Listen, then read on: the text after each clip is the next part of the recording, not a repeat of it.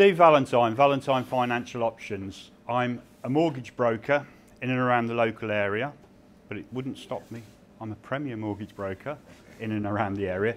It wouldn't stop me travelling to anywhere. So if, um, I mean, for example, I used to have business in Norwich until I moved back to Coventry. I've got business in Nottingham, Derby, um, Milton Keynes, as far as um, Watford, where people have uh, spoken to me and moved out of the area or referred me to family in and out the area.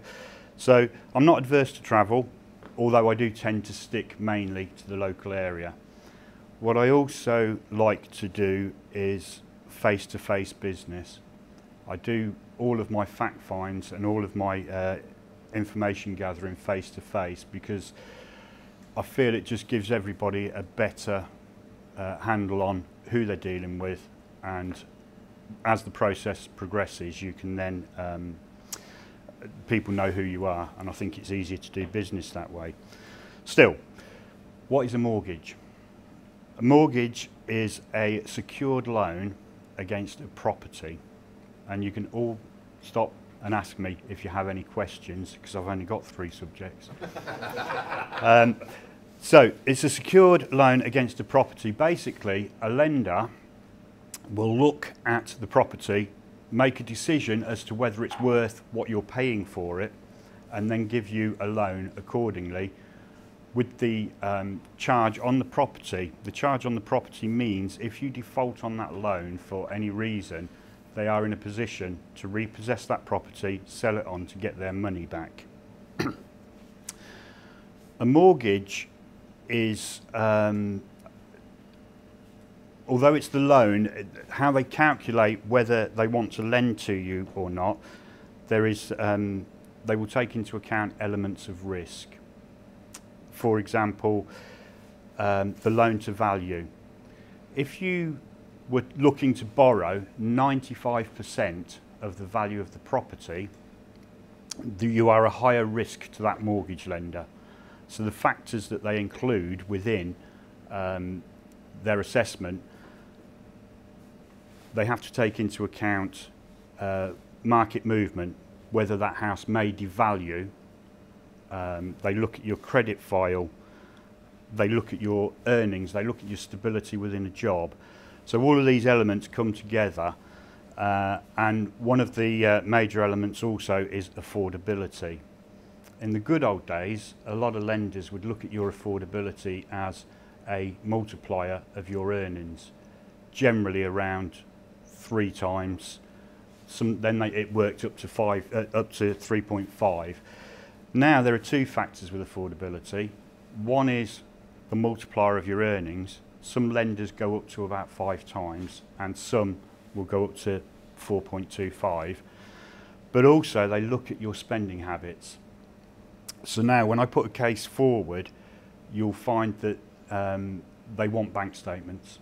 They, they obviously look at your credit file to make sure you're credit worthy, but they'll look at your spending habits to make sure that you don't overspend um, because on a multiplier, you could get a guy earning 30,000 and at three and a half times, they'll give you um, 105. But if your spending habits dictate that you can't afford the mortgage payment, they're not going to lend to you. So they do take into account a lot of elements. Um, at the moment, with the crash from 2008, there's um, people that encountered financial difficulties. There are the lenders now, uh, uh, uh, there's some specialist lenders out there as well as mainstream.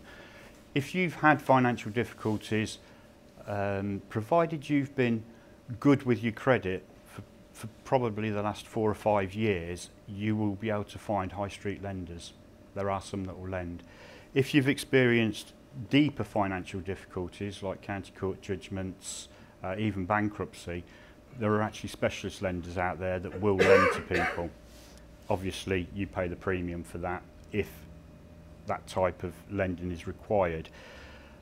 Um, I would generally look at a case on individual merit. And if I felt that it needed more detailed attention than I could give it, I would recommend that they perhaps looked to another provider um, and take on specialist advice rather than general broad mortgage advice.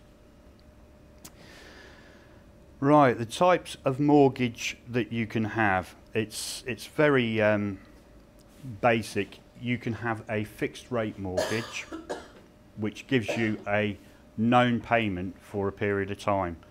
Anybody can stop me and ask a question at any point. um, so with a fixed rate mortgage, you can fix it for two years, three years, five years. There are actually 10 year fixed out there at the moment. Um, what you tend to find is the setup fees will probably be similar. Um, there are a lot of lenders out there at the moment, certainly for first-time buyers and remortgage, where there's no fees, um, but you pay a slightly higher interest rate. You can get a, a lower interest rate by paying the fee. Um, question. So you sign up for a two-year deal, yeah. and then you pay your fees all over again after two years. So isn't it a money-making scheme for the mortgage people? Where do you take it Well, back? no, it's the lender. The, uh, the lender. Right, I'm glad you stopped me because that lets me go into this. Um, with the deals, you might find, for example, you pay a thousand pounds and you'll get a 1.54 deal. You pay nothing and you'll get a 1.99 deal. So with that, what you're looking at is, is it in your interest to pay the fee? Generally, if you're looking at a mortgage up to say 150, it isn't. You're actually better off paying slightly more interest than paying the fee up front. And for people that um, are remortgaging, um, they, they look at how much premium they're going to pay. For first-time buyers, um, you tend to, I, I generally like somebody else involved, especially if they're younger first-time buyers. Um, I invite the parents or invite them to invite the parents because what tends to happen is um, I call I call them me dad. Now, me dad said, who happens to be a plumber, but me dad knows all about mortgages. So, me dad's been on the um, on the internet and he's seen a deal for 1.2 percent. So he then wants to know why little Jimmy can't have that deal. That deal happens to be for a 50% loan to value and you're paying £1,500 up front and it doesn't qualify. But people see headline rates. It's the same as walking into a into say a clothes shop and outside it's got 70% off most objects. But when you actually get in there, the 70% is off a pair of um, faded shoes that nobody's going to buy anyway. It's a headline rate to get you through the door. Is, is it true that the longer the fixed rate, the higher the redemption penalty? Generally, yeah. Uh, if, if we're looking, if we can move on with a, with a fixed rate, we've looked at the fees and, and the ratios of interest rates. With, Have you, uh, with, let's say, let's just take in a, a fixed and a variable rate. Yeah. Does that affect the amount the lender will advance you? Say you decide you want a variable rate mortgage. Is that reflected in the amount they'll actually advance rather than against a fixed, taking a fixed rate, or it, have you got no? not, sort of not necessarily. necessary?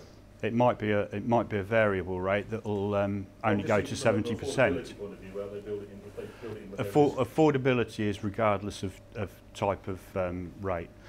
Going, Need a second microphone, Simon, for questions from the audience. Go, going back to your question, sorry. Sorry. The, the re- redemption penalty. Right. Generally, if you look at a, a mortgage, any, any mortgage deal, and there's very few now that don't carry a redemption, most lenders will look at a two-year fixed and they'll put 1% of outstanding loan for year two and 2% for year one. So I've told you that the wrong way round, but if you paid it off within the first 12 months, 2%. If you pay it off within 12 to 24 months, it's 1%. If you look at, say, a five-year mortgage, you're looking generally at year one, 5%, year two, 4%, 3%, 2%. And a 10 year mortgage, 10 year fixed. 10 year fixed, a lot of the deals now, it's a five year redemption. And you'll pay your 54321 in the first five years, and then it will be no redemption after that. Um, but again, if you take um, a two-year deal, you might pay 199. If you take a five-year deal, you might pay 2.4, uh, 2.34, something like that. So those those types of deals um, are, are basically most people are looking at two to five years. The uh, the questions that I do get asked quite often is um, certainly by self-employed. Last time I did a mortgage, I told them I couldn't afford it, and that was it. They were known as self-cert. Now, the the government, through their various regulatory agencies, have had to show that they're now getting slightly responsible, and the lenders have to show that they're being responsible. So, 10 years ago, when you walked past the bank and held out your hands and caught the money as they threw it out the windows, those days are now long gone. Um, and the self certificated mortgages you cannot get anymore, don't exist. Well, even with a huge, a, a big deposit. No. And also interest only. There are some interest only mortgages back on the market. Um, generally, you can get interest only on buy to let because it is not your residential. And most like you to use um, interest only because it means that the rental income can uh, offset against what you pay in mortgage and they'll use factors to make sure that the rental income would cover the mortgage. Other interest only, the general um, rule of thumb is when you pay your mortgage off, you can't be left in a position that you may be homeless. So lenders have different criterias, but uh, uh, the example would be um, you could get an interest-only mortgage if your property is worth £300,000 and you're only taking a 50% loan to value, which means when you come to pay your mortgage off, you sell your property, you still have 150,000 left, which they deem would buy you somewhere you can live in. So technically, they're not making you homeless. Not all lenders like the interest only. There are risk factors involved in that, and um, from the point of view, do they like to do it? Not really.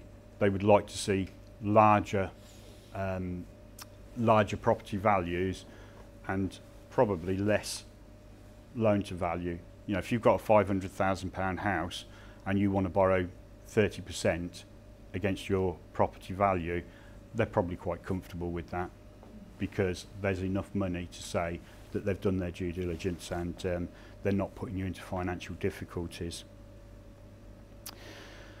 The, um, the types of buyer that I tend to deal with and come across are first-time buyers, home movers, remortgage. Um, remortgage for deal, so somebody who doesn't want to borrow any extra money, they just want a better rate because their rate's coming to an end and the variable rates are quite high. Um, and also there's the remortgage for capital raising. Capital raising can be um, for holiday, home improvement, new car, and what's been quite popular is debt consolidation. Debt consolidation now is being frowned upon by lenders, regulators and networks of people like myself purely because if I took your personal loan that's got three years left to run and your credit card and there was £20,000 outstanding and put it to a mortgage that has got 18 years left to run, when you do the maths on that, although I've made it very, very cheap on your monthly payment, it's cost you twice, three times the amount in interest by the time you've paid it off.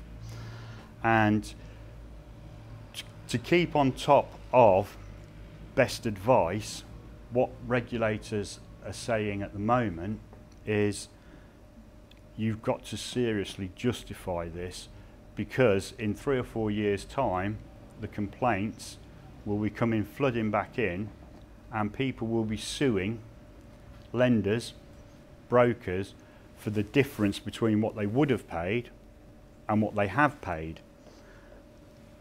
because it, it's it's very easy to forget. You're paying £450 now on your outgoing for your debt. Okay, you may have it paid off within three years on your loan. The credit card, it depends how much you want to pay off as to how quick you'll pay it off. Um, and that £450 is converted to 150 so you're saving 300 pounds a month which is great on your pocket at the moment but as we all know and as we're finding out very clever legal people are, um, Are such individuals? are, are, are coming up with are coming up with um, but you didn't know what you were doing. Uh, it's the same as there's certain business I won't do because well the network have actually said we won't accept it. We won't let you do it. Um, oh, let's do, I know you don't do these, equity release.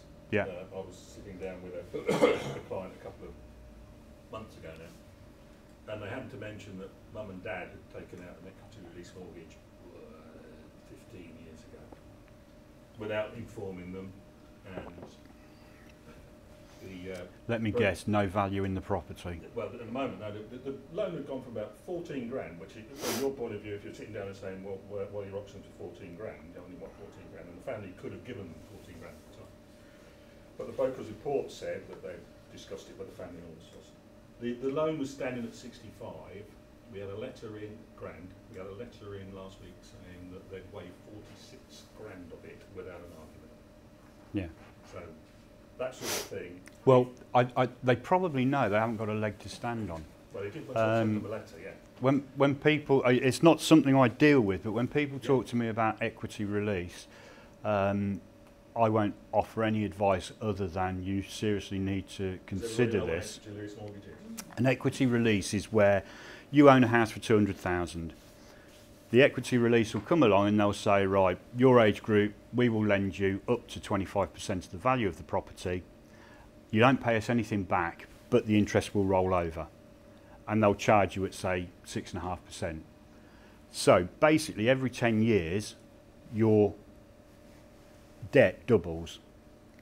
Or every 7 to 10 years, your debt doubles what they'll say is, or, or the selling point would be, but your house will go up by that much in value. So pro rata, it won't matter.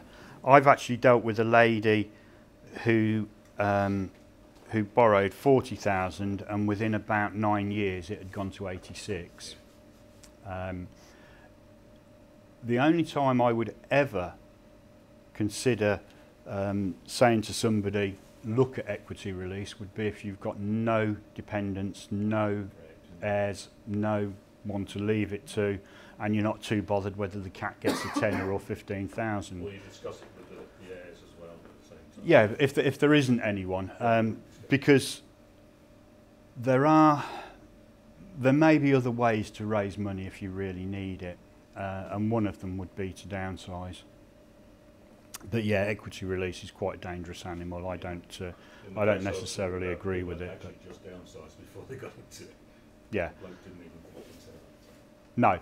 But the rules and regulations are getting a lot, they're better. I don't have issues with any kind of regulation because you need to work within, within boundaries that ensure that your clients are protected.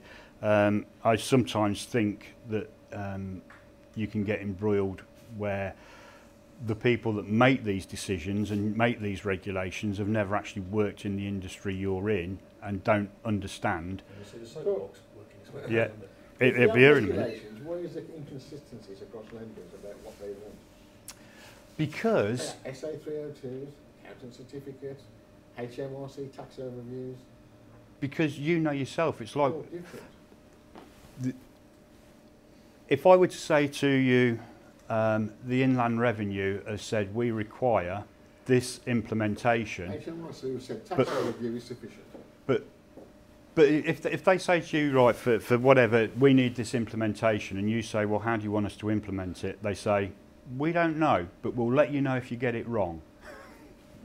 Yeah, but HMRC has said the tax overview is sufficient, but you're still Yeah. going to ask them for lenders asking for the SA 302s. I, I totally agree. It, it, it drives me mad. Um, I'm, I don't charge fees. I don't charge broker fees.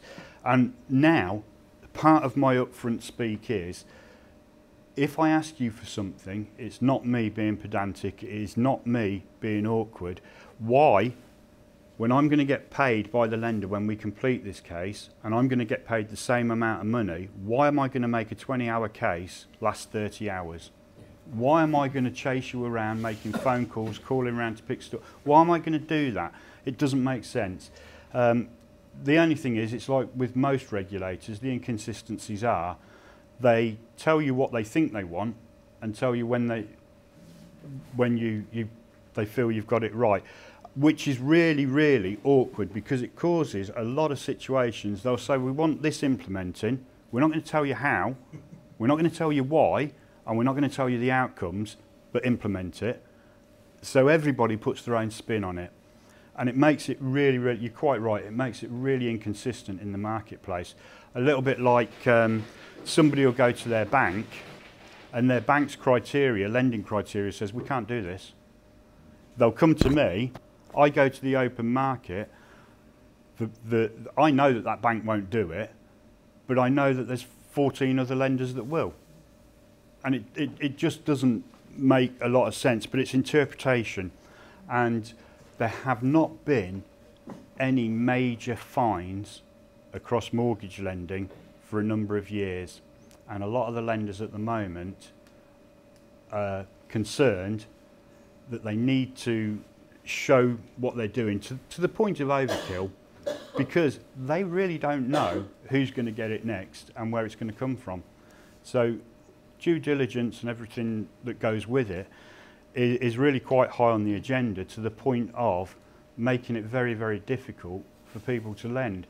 You, you, you'd say it was common sense. Can they afford it? Yes, they can. Are they a risk? Well, actually, their credit records say no. Um, are they in good work? You know, are the working condition? Well, they've both been employed in the same companies for over three years. Um, everything says yes, let's lend to them, but they want a thousand pounds more than the um, perceived criteria allows them to have. So it's either a down value on the loan or in some cases a straight decline. And you think there's no common sense being applied here because you could get somebody else that's earning really, really good money and it's not. It's not a problem, but they've got the worst credit record ever.